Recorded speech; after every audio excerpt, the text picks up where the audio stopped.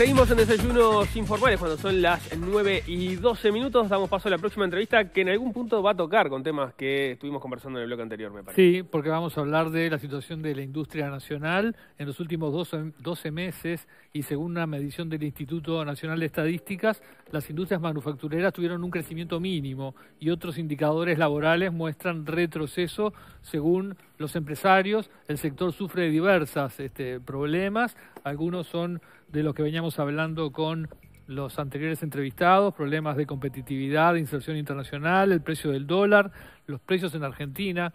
Hay varios problemas sobre la mesa. Para hablar de todo esto recibimos a Fernando Pache, presidente de la Cámara de Industrias. Bienvenido. Buenos días y muchas gracias a usted. Bienvenido. Bienvenido, buenos días. Muchas gracias. ¿Cuál es la situación hoy de la industria nacional? ¿Estos, ¿Este crecimiento mínimo del último año deja entrever un problema? Sí, es un problema que no solamente deja entrever, sino que ya se preveía en el segundo semestre del año 22, del año pasado, y que bueno, este, y que se refleja eh, en este semestre de este año y que creemos que va a continuar en esa tendencia por lo menos hasta fin de año, con una esperanza de que el año 24 se revierta un poco. ¿Cuáles son los principales focos donde la Cámara de Industria ve que tenemos un problema y que hay que solucionar? Bueno, tenemos el gran problema eh, y como titular se llama la falta de competitividad. El gran problema que tenemos en ese sentido este, y dentro de la competitividad de, tenemos un atraso cambiario importante, tenemos los costos de las matrices productivas de la industria eh, más caros de la región, eh, tenemos poca flexibilidad por el momento en, el orden laboral. Entonces, este, y tenemos un tipo de cambio tan bajo que hace que eh, el, atractivo por no producir en el Uruguay y que, e importar tanto de la región como del mundo, especialmente de nuestros vecinos, y especial, especialmente haciendo foco en este momento con Argentina, sea mucho más rentable que eh, encarar la producción nacional.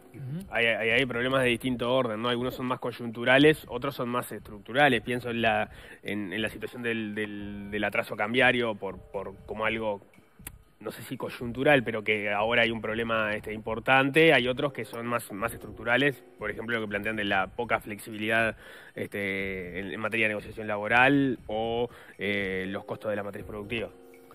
Los costos de la matriz productiva en algún momento se van a tener que rever eh, ya se han hecho cambios en, la, parte eléctrica, este, energética eléctrica, eh, que, bueno, que en algunos casos pueden ser favorables a, a la producción, autoproducción eléctrica industrial. Eh, el tema laboral ha tenido cambios favorables este, en los últimos meses. Que eran, digamos, reclamos a la OIT y que de los tres o cuatro o cinco puntos este, que se habían planteado, hay uno todavía sin resolver eh, de, la, de la negociación colectiva, bipartita, tripartita y demás, que creo que en algún momento se va a resolver. O sea que desde ese punto de vista yo creo que es más el diálogo sensato con los sindicatos de la realidad que vive la industria que eh, de muchas más reglamentaciones que por supuesto son necesarias. Por ejemplo, no se puede seguir poniendo pautas salariales al barrer sin mirar cada uno de los sectores, porque no todos los sectores industriales están en la misma situación y no todos pueden hacerse cargo de este, los mismos porcentajes como base a pagar. Entonces, este, cuando eso se, se, abra de alguna manera y se pueda negociar en forma bipartita y entender cada uno de los sectores cuáles son las condiciones reales de, de posibilidades de pago, se va a, a, resolver o se va a encaminar un poco mejor este tema. ¿Tiene los números de, de cuántos, de qué porcentaje de los sectores de negociación eh, piden descalzarse, por ejemplo? No. No, no saben. No, no tengo ese número. Este, es un tema muy específico dentro de la Cámara de Industrias y evidentemente el, sector laboral de la Cámara lleva esos detalles de números, pero no todos piden descalzarse, evidentemente, o, salir de, de esa eh, negociación, digamos, general. Eh, lo que sí que es una realidad, o sea, cuando nosotros miramos este tema y vemos que hay un porcentaje determinado de base este, para la industria, eh, no toda la industria está en las mismas condiciones y eso es un punto eh, neurálgico a resolver. En ese punto, obviamente, tendría que estar la buena voluntad de los trabajadores para entender que hay partes de la industria que no tienen la misma situación este, que otras y que por lo tanto va a haber que ir en, velocidades distintas, por ejemplo a la hora de, ir por el aumento del salarial, también de la propia industria para compartir la información de manera tal que eso se, logre explicar y se logre justificar, ¿no? Bien, la buena voluntad por parte de la industria existe, pero esto profesionalmente va más allá de la voluntad acá hay que ser inteligente. O sea que eh, si la parte sindical eh, no es inteligente, eh, el dinero huye. Y esto es acá y en el mundo entero. Entonces, este, no hay mucho que explicar en este sentido. ¿Cuántas empresas ya han cerrado en el Uruguay y se han instalado en Paraguay, en Brasil, este, o, han, o se han dedicado a ser importadores y no más industriales? ¿Cuántas? Varias. Significativamente es un número que se han ido capitales a otro lugar. Lo que hace significativo el tema es dónde están instaladas esas empresas. Si usted tiene una empresa, ejemplo le doy, como Aperam Sinter en la Ruta 1, en San José y en una localidad determinada, y usted empleaba 350 personas y un día decide cerrar porque no aguanta más, o los costos uruguayos, más allá de que se publique como estrategia eh, regional de una empresa multinacional, eh, no importa cuántas en su totalidad son las empresas, sino cuánto impactan en la zona donde dejan de trabajar. Entonces yo... Esa empresa que dice es un caso real, digamos. Sí, claro. ¿Y a qué se dedicaba? A hacer caños eh, de acero sin costura. es una empresa que está su matriz en Brasil y se volvió a Brasil a fin de año. este, no es el caso ahora de hablar de nombre y apellido de cada una de las empresas. En el sector alimenticio las tengo muchísimo más claras que en otros sectores, pero lo que trato de transmitir es que si acá no hay más que voluntad, inteligencia de ambos lados, del empleador y, el sindicato o los empleados, uno se va a encontrar en algún momento con que eh, la empresa del empleador se transforma, si no es que se funde, se transforma en importador o distribuidor y puede instalarse si tiene las condiciones en otro país. El funcionario técnico que ha de alguna manera eh, aprendido una actividad dentro de la empresa se pierde y posiblemente en la nómina del BPS usted no vea ese empleo perdido porque esa persona tuvo la suerte de recolocarse laboralmente, pero en un puesto de agencia de seguridad, por ejemplo, y esa persona perdió su, su trabajo técnico para lo que había, eh, se había preparado y había aprendido.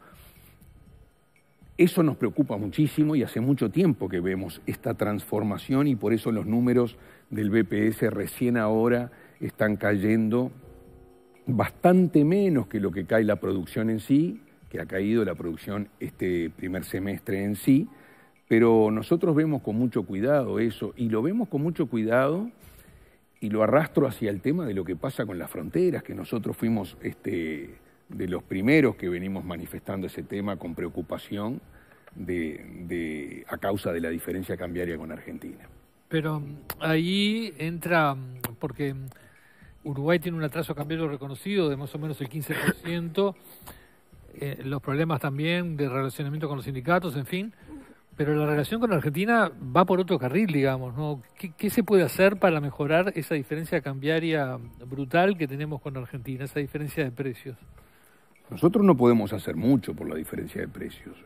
la diferencia de precios con el tipo de cambio argentino es abismal. Vale más de 500 pesos un dólar en el mercado paralelo de la Argentina.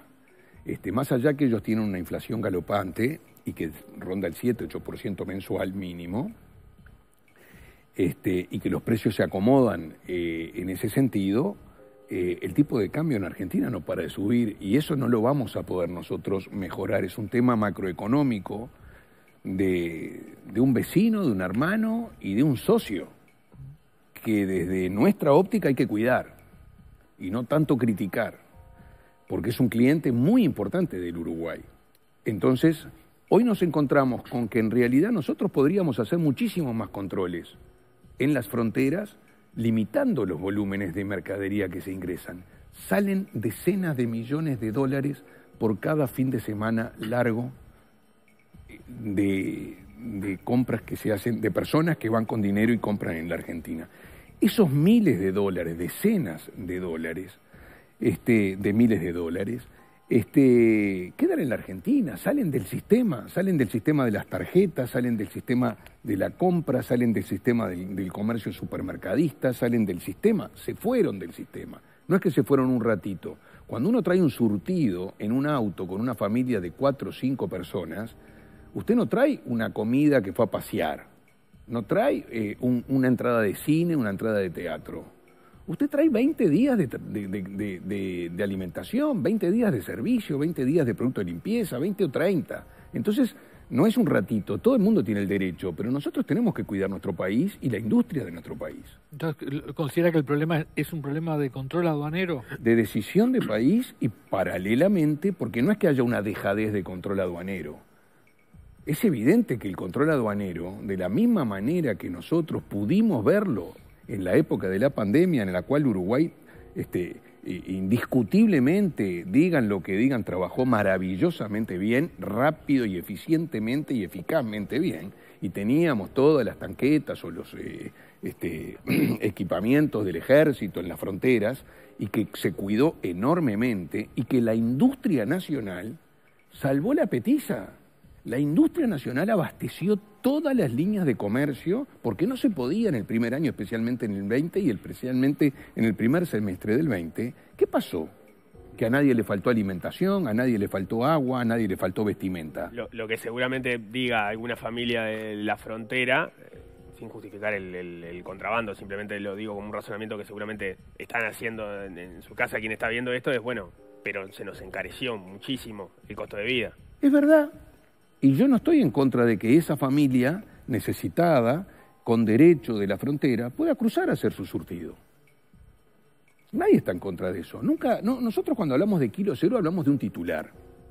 ¿Está bien? Pero no estamos hablando de que una persona, como existió siempre, pueda cruzar al lado brasilero a pie o pueda cruzar, este, o frontera seca me refiero, o pueda cruzar los puentes al lado argentino y traer su canasta y traer su surtido y abastecerse de... Ahora, están yendo a hacer cumpleaños de 15 en la Argentina. O sea, nos vamos al otro extremo. Y esa persona que hacía fiesta, cumpleaños de 15, ya tiene un local que no puede pagar alquiler en Salto. Y ahí está el cotillón, está el vestido de la novia, está la peluquería, está todo el proceso y nosotros que abastecemos con industria nacional todo el supermercadismo y, el, y, las grandes superficies que hay en frontera, como las pequeñas y medianas superficies, digamos, relacionadas más a Cambadu que a las grandes superficies supermercadistas, nosotros este, nos damos cuenta que bajan las ventas de la producción nacional entre 30 y 40%. Es mucho dinero. Eh, dos preguntas sobre esto. Em, los actores que están en contra de la política de cero kilos señalan que eso ya se aplicó en el pasado y no dio buenos resultados, que por eso no debería de aplicarse ahora. ¿Qué le responde a ellos?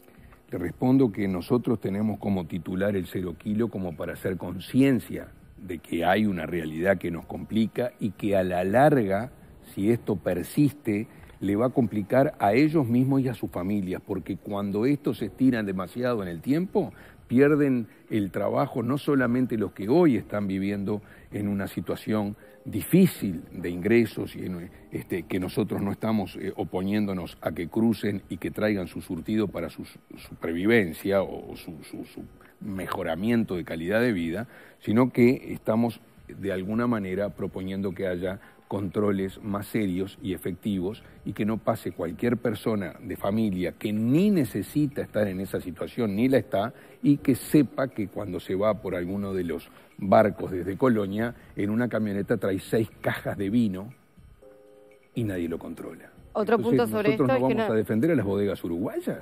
Y otro, no lo estamos haciendo. Otro punto que, que, invalida llevarlo adelante es que no hay personal para controlar todo esto en la frontera. falta recursos humanos. Usted me planteaba sobre la voluntad de las partes, perfecto. Si hay voluntad, hay personal. No hay que contratar personal. En la pandemia no se contrató mucho más personal, hubo voluntad, hubo necesidad y hubo eficacia y eficiencia en hacerlo. Sí, no Bueno. había gente cruzando, ¿no? Muy No había No había- no de había- no había- Pero había control. Pero había controllers. O sea, Pero había era- era soldados en la frontera que controlaban. Y bueno, y yo no sé si eso... Lo que pasa es que la gente tenía mm, temor de moverse, de cruzar y temor de salir de la casa incluso, entonces este Bueno, jugaban a favor de los controles. Hoy la gente Claro. quiere cruzar, quiere traer y En la pandemia, además, de, de- no había tráfico de personas, no solo no tráfico de bienes. Ese era el punto. Yo lo entiendo, yo lo que digo que no hay imposibles, este es un país muy chico, con tres o cuatro puntos o seis puntos de ingreso y salida neurálgicos. ¿Cree que el gobierno debería tomar una medida de Ah, no eventualmente llevar el duda, ya se ejército lo hemos propuesto al gobierno, lo hemos propuesto en todos los canales, en todas las radios, lo hemos dicho en alguna manifestación escrita y de medios de prensa, y decimos que si esto se hace la vista gorda, esto va a terminar mal. ¿Se está haciendo la vista gorda? ¿Y usted qué opina? 300.000 uruguayos salieron en estos últimos días de, de licencias este, invernales. 300.000 uruguayos. ¿Les podemos prohibir que vayan de paseo? No, en absoluto. Nos parece fantástico. Ahora que se traigan los surtidos de carros de supermercado sin control adecuado, nos parece mal. ¿Y qué, entiende que hay? Que no se está en realidad eh, haciendo la fiscalización necesaria para no asumir el, el costo político de una medida antipática para esos uruguayos. y posiblemente esté relacionado, no sabemos por qué, pero posiblemente esté relacionado porque eso controla el aumento de la inflación y porque de alguna manera esos precios mejorados de, de canasta familiar del otro lado llevan a que el aumento de la inflación sea menor, este, o porque tenga un costo político. O ¿Pero porque... qué le contestó el gobierno cuando usted le planteó todas estas medidas, Es particularmente? muy difícil, lo mismo que plantean ustedes aquí, como que supuestamente es difícil. Y bueno, nosotros no, no nos quedamos en el muy difícil porque hay cosas mucho peores y realmente eh, mucho más difíciles de sobrellevar en la vida y se sobrellevan. Así que acá, si hay algo que hay que tener en cuenta, y tomo la palabra suya, es voluntad de resolverlo. Y en esta, en esta voluntad, ¿cómo sería o cómo le parece a usted que sería la mejor forma para, como usted decía, no prohibirle a las familias que necesiten quizás hacer un surtido un poco más barato cruzando el puente o cruzando la frontera y controlar que eh, no pasen otras cosas, digamos? ¿Cómo- ¿Cómo sería el, esquema para que eso funcionara? Bueno, yo no soy la persona adecuada para poder decirle al gobierno ni proponer eh, una solución de control de ingreso en las fronteras. Sé que no es un tema muy fácil, pero tampoco vuelvo y repito, no es un tema imposible. Este, usted si quiere saber si la persona que cruzó del otro lado y vuelve al Uruguay vive en Salto, y pídale eh, la factura de UTE, a ver si vive en Salto. A esas personas se les, si esa persona en el sistema electrónico, si usted tiene el sistema, porque debe tener un sistema este, in- informático de migración en la cual usted controla quién sale, por lo menos cada vez que yo salgo del país y salgo bastante a menudo y entro al país, paso por migración. Y si usted ve que el nombre de esa persona pasa todos los días, acá no es normal. Este, y cuando usted se empieza a fijar en eso, que, que no es tal, tan grande como mundo y como se hace ver, este, y empieza a darse cuenta que este ciudadano, esta ciudadana, este, viene ingresando todas las semanas, tres, cuatro veces, tres, cuatro veces, acá hay algo, acá supera el consumo familiar. Con voluntad se puede, es lo que, O sea- es lo que quiere decir. Eh, a, a propósito de la relación con Argentina, me queda una, una duda sobre qué pasa con, con- el sector industrial, justamente en, las cosas que se le venden en Argentina, cómo ha evolucionado eso en, en este contexto. ¿no? Hablábamos en el bloque anterior a propósito de este, las relaciones comerciales con, con el mundo. Muchas veces lo que se pone arriba de la mesa es no nos podemos ir del Mercosur para empezar porque son los vecinos, pero además porque Argentina, sobre todo, ahora seguramente en menor medida, le vendemos cosas que no le vendemos al resto del mundo. Al resto del mundo le vendemos las 3, 4, 5 cosas que le vendimos siempre con un valor agregado menor del que se vende por parte de la industria argentina. ¿Eso cómo, cómo ha ido evolucionando en estos, en estos años tan particulares? En estos últimos dos años y en especial en el último año ha involucionado más que evolucionado en cuanto a la Argentina específicamente y por los controles muy estrictos que tiene Argentina al dar los permisos de importación dentro de Claro, Argentina. ya no, no solo hay un problema con el- eh, la diferencia cambiaria, sino con también los controles de impuestos. Uruguay tiene una ventaja importante que, que- que muchas veces, a veces yo entiendo que no se mide claramente a nivel de, de los ministerios, y es que Uruguay fabrica una cantidad de productos que exporta a la Argentina, que son productos complementarios de una producción final en Argentina, como por, Por ejemplo, las autopartes. Bien. Este, el tema de las autopartes, si usted tiene, yo que sé, la fabricación de un auto en Campana, en, en- en provincia de Buenos Aires, y de acá no van las pastillas de freno, y bueno, no nos hacemos bien ni uno ni otro, porque en la Argentina no pueden circular esos vehículos porque no se terminaron de producir, y en el Uruguay no puede seguir la producción in eternum con capital y capital de giro y gente pagando sueldos si no va a poder cruzar la cantidad de producto que se elaboró. Entonces nosotros este, hacemos, por supuesto, nuestro departamento de comercio exterior de la Cámara de la Cámara de Industrias, que por cierto es muy bueno y se dedica mucho a atender al socio y averiguar exactamente cuál es su problemática, hace todo el recorrido en el Ministerio de Relaciones Exteriores y pasa las este, eh, la cantidad de, de- de permisos que están detenidos en Argentina, hace, hace todo en el, camino y el recorrido este, con las instituciones y con los ministerios adecuados para poder generar el pedido adecuado de cumplimiento del Mercosur, principalmente con Argentina. Y en lo paralelo, evidentemente tenemos la suerte de tener una excelentísima relación con el presidente de la Unión Industrial Argentina, el doctor Funes de Rioja, a quien yo veo habitualmente y, le pido el favor este, que ayude a la pequeña y mediana industria que está asociada a la Cámara y que necesita esos permisos de exportar, de exportación, para que eh, de alguna manera, dado el conocimiento que él tiene y por supuesto los vínculos, nos ayuden a liberar lo denominado CIRA, que son, eh, es un sistema de importación en la República Argentina, un sistema electrónico que los despachantes este, ingresan para solicitar los permisos. Y bueno, de alguna manera estamos ayudando en eso, porque no, no, no hay otro camino. El otro camino es muy lento, es el correcto, pero es el proceso burocrático que es lento y las empresas no pueden esperar, no pueden esperar. Estarán mirando con mucha atención la, la génesis de la campaña electoral argentina, digamos. Por supuesto, lo estamos mirando, lo estamos mirando día a día.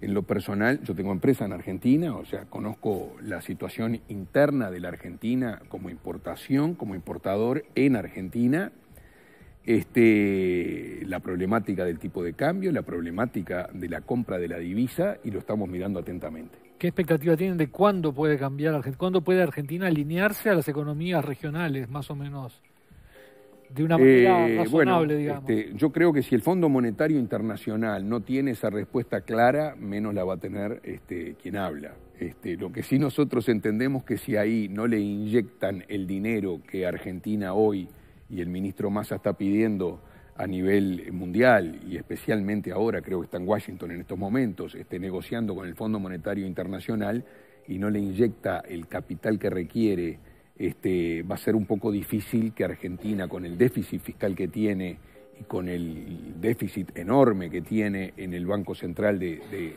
de dólares, pueda este, rápidamente entrar en una alineación o en, o en- o en línea o en, con los demás socios del ¿Y Mercosur. ¿Tienen algún apoyo este, oficial, formal, definido sobre alguna de las candidaturas que están en pugna? No, Fernando Pache, presidente de la Cámara de Industrias, muchas gracias. ¿eh? gracias a ustedes. Muy. Amable. Ahora cuando son las